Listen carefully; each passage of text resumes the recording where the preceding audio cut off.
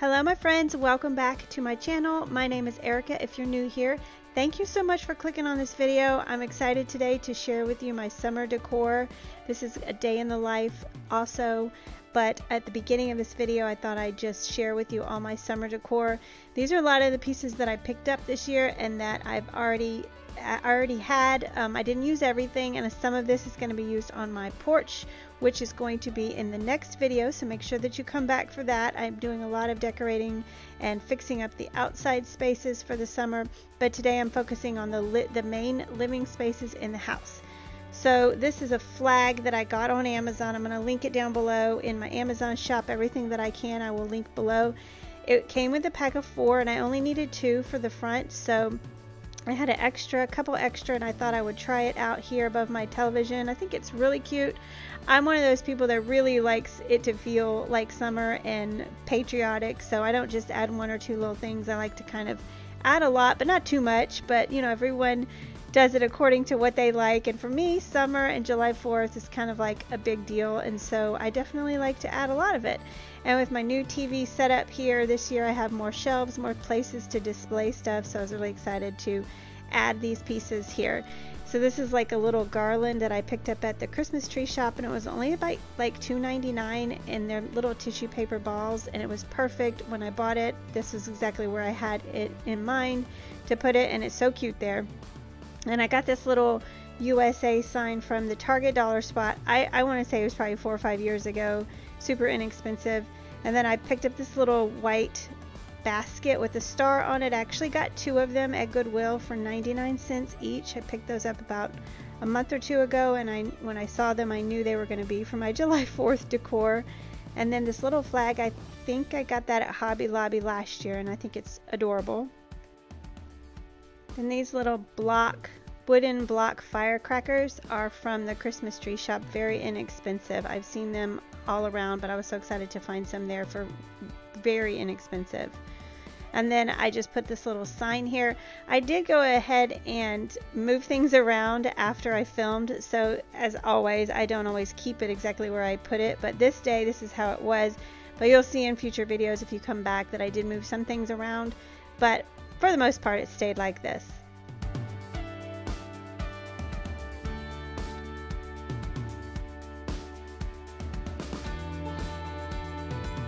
So this is what that that TV stand looks like in the living room. I think it's really cute and very festive, very summery, just exactly how I wanted it to look.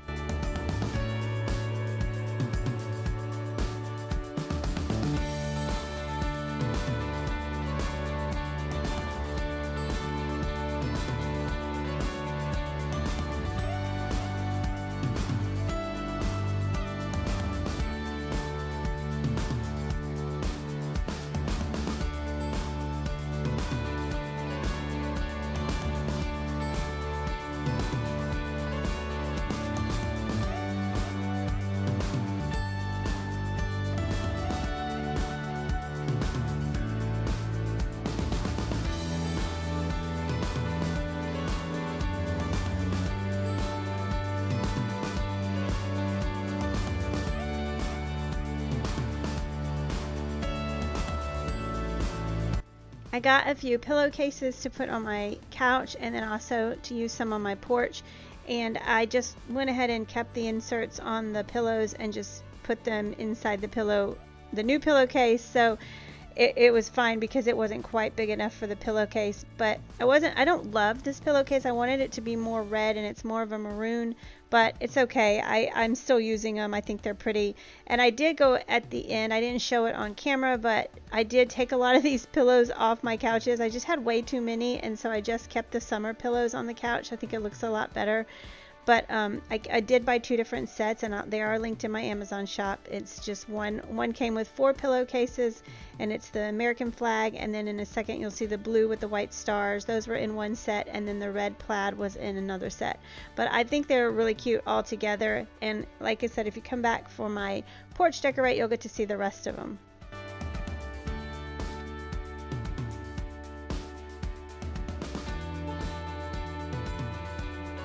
And I really wanted a red, white, and blue blanket this year. I didn't, I've never had one, and so this one was a fun, fun one I got from Christmas Tree Shop for like $12.99, and it's super soft. And that little tiny pillow came from the Target dollar spot a few years ago.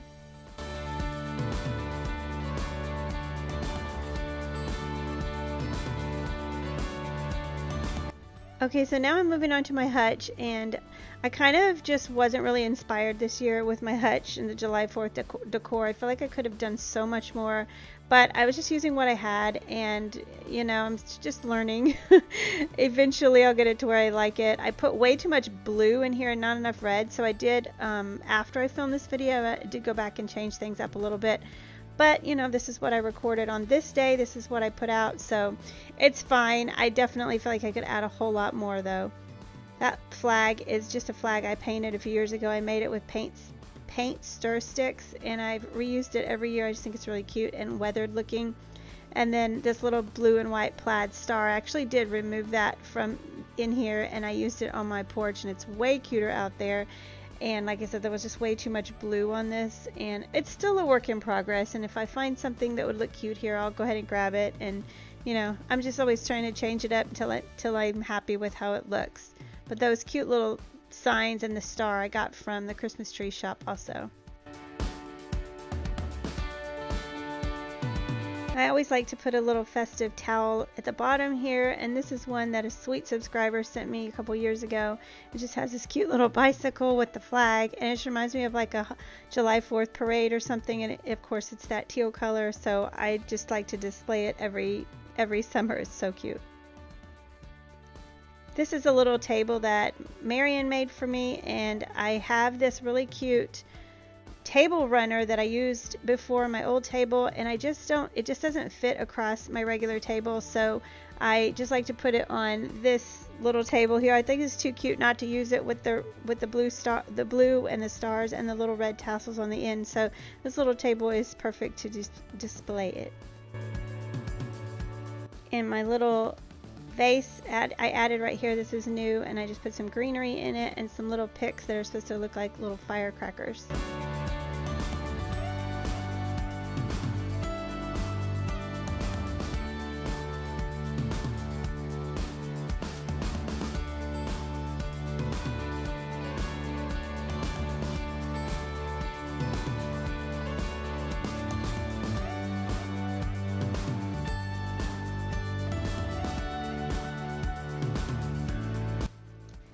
my table, I have this table runner and I'm not sure if I'll keep it or not, but it's really pretty. It came from Hobby Lobby and it's a really good quality.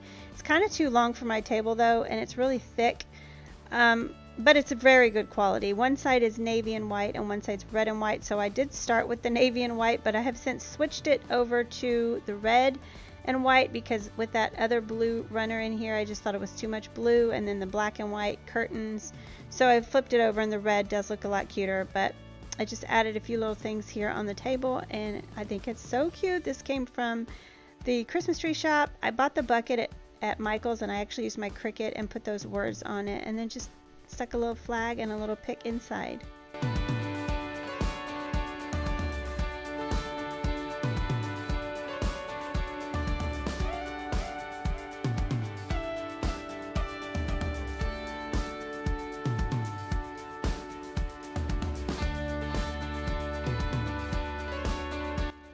So now I'm moving on to the kitchen. I'm just going to add a few things in here.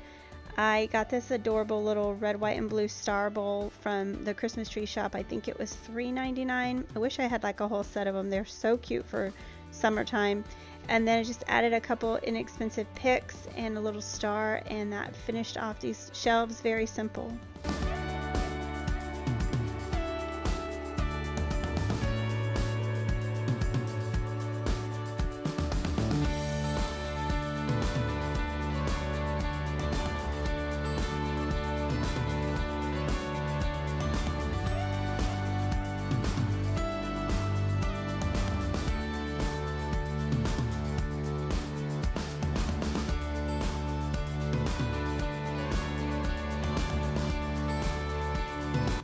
So this is all the rest of the stuff that I'm going to use in my kitchen. It's not very much. I just don't want it to be too cluttered or it will overwhelm me.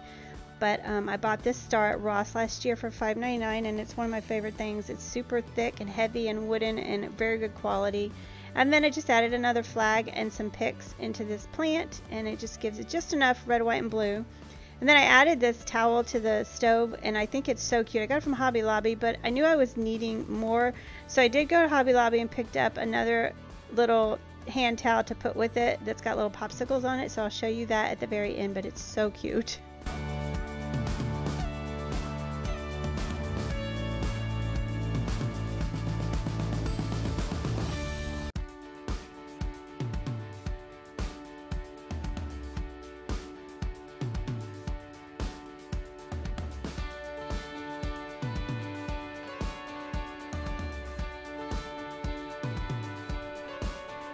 So here is the little popsicle hand towel. Got that at Hobby Lobby. It's on sale 40% off right now. So the house is decorated. That is a huge thing checked off my list. Actually, I started this whole process about two hours ago when I just pulled everything out and sort of figured out where it was gonna go and then filmed it and yeah, I'm glad to have it done. And I like how it turned out. I like just like a, I like to keep my regular decor and then add the extra red, white, and blue into it. But after Christmas, July 4th is like my favorite holiday. Well, Christmas and Easter, but um, I can never seem, I'm never like fully satisfied with this. I loved it at Christmas, but I don't know. I feel like I could go like way overboard and I just don't need to. I definitely think that if you walk in my house, it feels like summertime, red, white, and blue everywhere. This is like one of my favorite little, there we go. That is one of my favorite little spots. I don't know why it's just so cute. These table runners kind of get on my nerves though, so I don't know if I'll keep it the whole time, but for now I like it and I really like this too. And then of course the living room turned out so cute. It's definitely lots of red, white, and blue, so I'm happy to have that done and now this will stay up for a few months. But welcome back. I'm just now showing my face on here. I thought I'd do this video a little bit different than I do uh, normally starting out my video, but this is just gonna be a summer decorate, but also a day in the life. It is Thursday for me and I really wanted to get this done today because I planned this weekend to do my porch and like all the outdoor stuff. So definitely make sure that you come back for that video because the porch is gonna be really cute. Actually, after three o'clock now. So I definitely got started later this day. Jackson has Bible club today at school. This is last um, Bible club for the school year. So I pick him up later than normal today. So I knew I had some extra time. So I thought I'm going to take my time, put everything the way I want it to be, not stress about it because that's not supposed to be stressful. It's supposed to be fun. And yeah, it looks good and I'm happy with it. I hope that you uh, got some inspiration or, you know, if you don't decorate for July 4th, maybe go out and pick up a few little flags and stick them in some plants or stars. I love these little stars from Dollar Tree or Hobby Lobby. I can't quite remember, but they're so cute and they just dress up like the simplest little decor dresses up a plant or whatever makes it feel festive. And I love love summer love july 4th all of it the red white and blue. Um so uh, so this evening patrick is going to come over for dinner. I'm gonna put you up here because my arm gets so tired. Patrick's coming over for dinner because it's thursday and that's his his regular routine. We do his budget and his he eats dinner with me. And then at seven we do have a phone call with someone. So he and i uh, we'll be doing that for a while, but we're not gonna, so I'll close the video before that, but I'm gonna be making dinner. It's something I've shared before that my mom always made when we were kids, just like mashed potatoes with a beef gravy. It's like mushroom, mushroom soup and brown gravy and ground beef and onion. She used to put lots of onion um, you know, pour it over the mashed potatoes. It's so good. And then we'll just do some veggies on the side and it'll be, it actually is super easy. I've shared it before, but I'll show you again if you hadn't seen that video.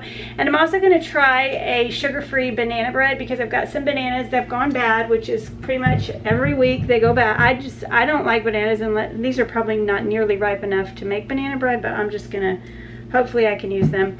But I'm really funny about my bananas. They have to be, a, so it's like a one or two day window that I will eat a banana like from the color of it. So anyway, I'm going to be making some sugar-free chocolate chip banana bread because Patrick will eat it. Nobody else will eat it, but I know he will try it. So we have been trying some other like low sugar and sugar-free desserts and I've shared some but I'm gonna start I have a playlist it, somebody had asked me if I put them in a playlist so all the videos that have like sugar-free or low sugar dessert ideas are going to be in a separate playlist so you can find them easy if you're interested in that, but I have a lot that I've pinned on Pinterest that I want to try. So there's like tons that I want to try. So tonight I'm going to do sugar-free chocolate chip banana bread and I'm it sounds amazing. So and my my favorite sweets to eat is like a baked bread or donut or cake or something. I would choose that over ice cream or candy any day.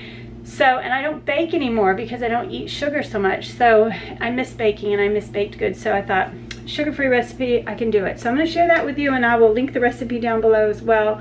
But I am gonna make a few little changes like I always do. But you know, that's what I always say. Make it your own, make it the way you wanna make it. In fact, it's not a chocolate chip recipe, but I'm gonna put in some Lily's chocolate chips because I want chocolate chip banana bread. Also, I thought I would address this because I've gotten a couple comments lately. I think a couple of the last videos had this in it, but um, you, a couple of you commented about the clanging of the bowl in here.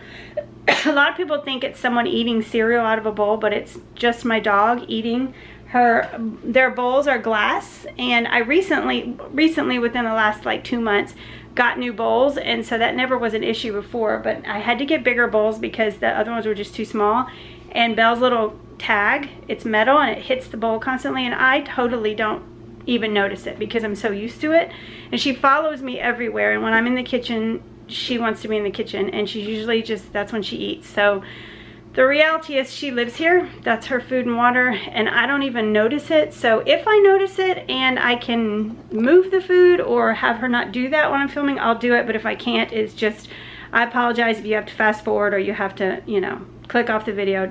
That's whatever you gotta do. But if you hear it, it's Belle. I appreciate you watching and sticking it out and just understanding that it is her and you know if it drives you crazy or the, the clanging you can't handle it just you know fast forward or whatever you got to do I understand.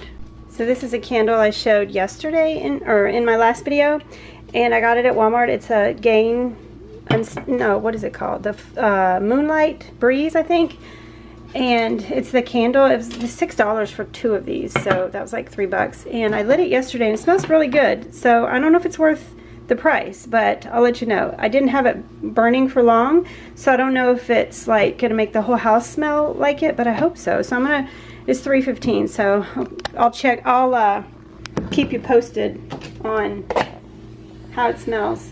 And also we ran out of matches and Marion could only find these massive massive like I don't know, fireplace matches. it's time to go get Jackson, and it is so very hot outside. It's supposed to be 90 degrees today. I love it though.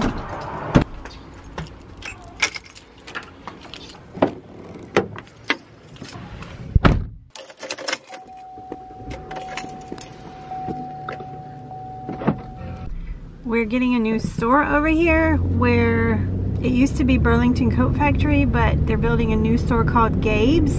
Do you guys have a Gabe's where you live? It looks amazing from what I saw online. I cannot wait.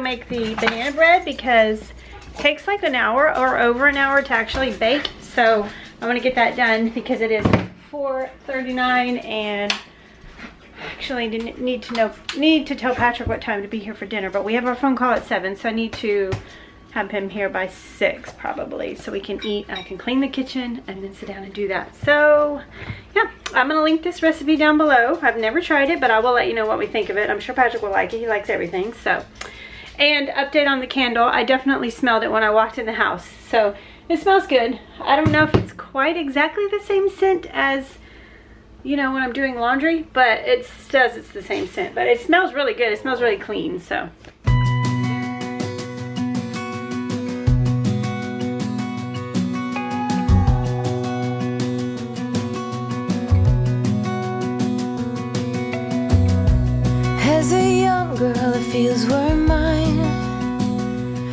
played hide and seek for hours, raised our shadows among the pines. So offshore, playful and free, without a care.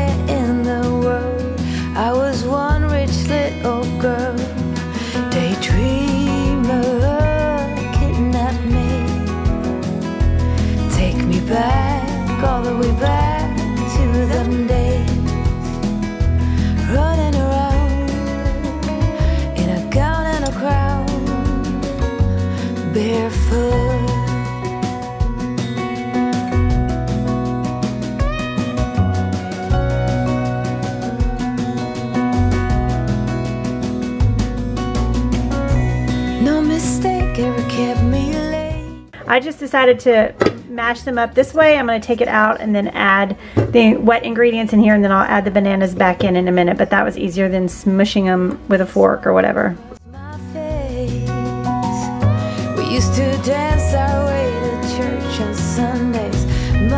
set the pace.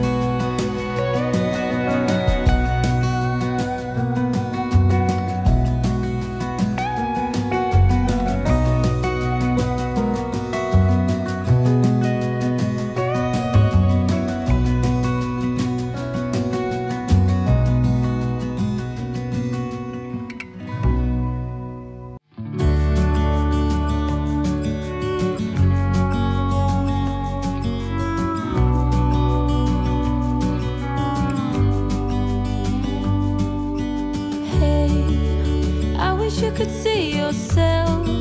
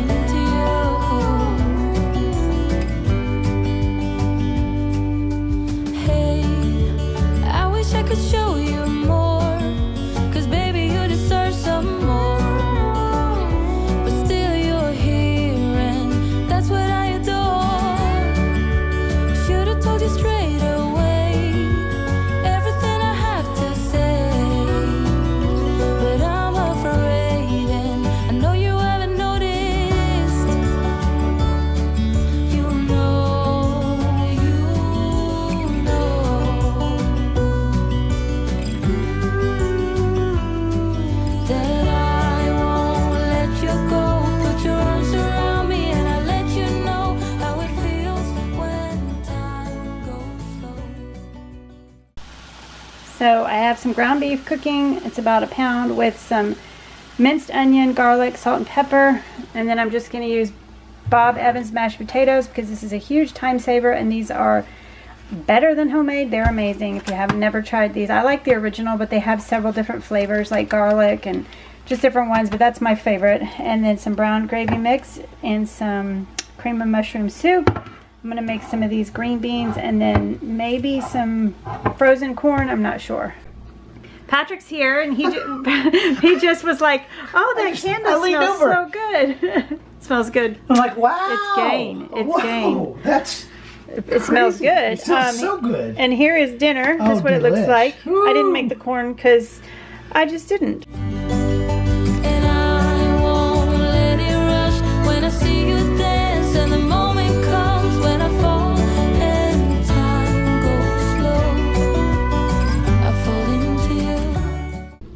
Here's the banana bread. I did taste it and it's definitely sugar free. I put some butter on it. I'm going to see if that's good. And if it's just not sweet enough, I might put a little maple syrup. Okay, so it definitely. Is it good with butter? good. Uh-huh. Let's see. It's definitely not very sweet. I think I'm going to drizzle a little maple syrup over top. Ooh, I think I, that would be I wouldn't object to that at all. Not Perfect. a bit. This way. Did you get that at, at Club Sloppy Joe's? Sloppy Joe's. Joe's Joe's Crab Shack? No, it's This? I got Yeah. it at Walmart. Oh, oh, what is that place? Do Joe's. you want any? I do. Joe's Crab Shack? No, it's it's a place that they only have it in Charlottesville. Oh, Trader Joe's. Trader Joe, that's what it is. Yeah, yes. no, I got this at Walmart. Okay, the bread was really good. Patrick liked it. Definitely good with the syrup on it, but I'm gonna let it cool and I'll have some tomorrow maybe for breakfast and it will be good with Yes. I'll probably I might not put anything sweet on it because I don't want to sir, um, real maple syrup is a natural sweetener so Mm-hmm. it's not like the you know other sugars but True. anyway we'll say goodnight for now so thanks for hanging out with me with us today Thank y'all again for my birthday. It was amazing. it was Thank y'all. And is that is that so thank you in sign language? It is, thank you. always- oh, thank you. Okay. You Yes. always do this. You just That I'm expressive. take it to another level. Like Thank y'all. Anyways, we're gonna go have our phone call now True. and I've got most of everything cleaned up, so that feels good. But thanks for hanging out. Make sure to give this video a thumbs up if a thumbs up if you liked it, and we'll see you guys in the next one. Bye bye.